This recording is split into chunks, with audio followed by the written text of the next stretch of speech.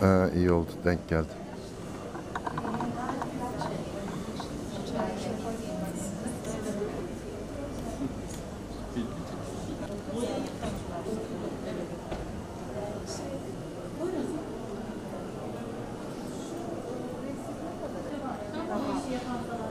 Ama ben neyi